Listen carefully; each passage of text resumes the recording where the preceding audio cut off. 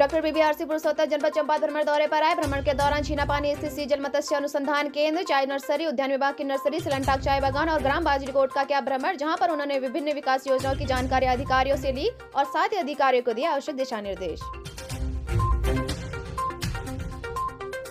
मुख्यमंत्री पुष्कर सिंह धामी ने आज नानक मत्ता उधम सिंह नगर स्थित गुरु नानक अकादमी में वीर बाल दिवस के अवसर पर आयोजित कार्यक्रम में किया प्रतिभाग। इस अवसर पर उन्होंने शहीद उधम सिंह की मूर्ति पर माल्यार्पण और गुरु नानक अकादमी परिसर में आर्टिफिशियल इंटेलिजेंस लैब का शुभारंभ एवं छात्रों को किया सम्मानित।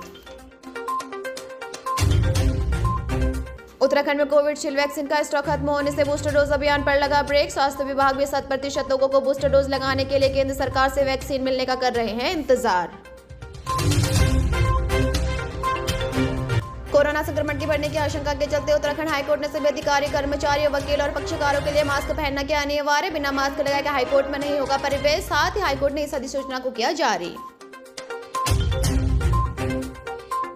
धर्मांतर मामले के विरोध में सोमवार को पुरोला नगर व्यापार मंडल की ओर से क्षेत्र में बाज़ार बंद रखा गया। इस दौरान सभी व्यापारिक प्रतिष्ठान पूरी तरह से बंद रहे। वहीं व्यापारियों ने सड़क पर उतरकर किया धरना प्रदर्शन। इसी दौरान आरोपियों को गिरफ़्तार करने की करी मांग।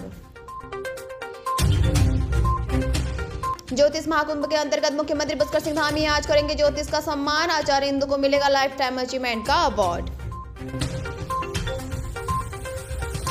रुक करते हैं मौसम की तरफ़। उत्तराखंड में अगले 24 घंटे तक बढ़ सकती है ठंड। उधम सिंह नगर और हरिद्वार जिलों में शीतलहर को लेकर येलो अलर्ट किया जारी। साथ ही मौसम विज्ञान केंद्र के निदेशक विक्रम सिंह के मुताबिक उत्तराखंड में 24 घंटे में बढ़ सकती है ठंड।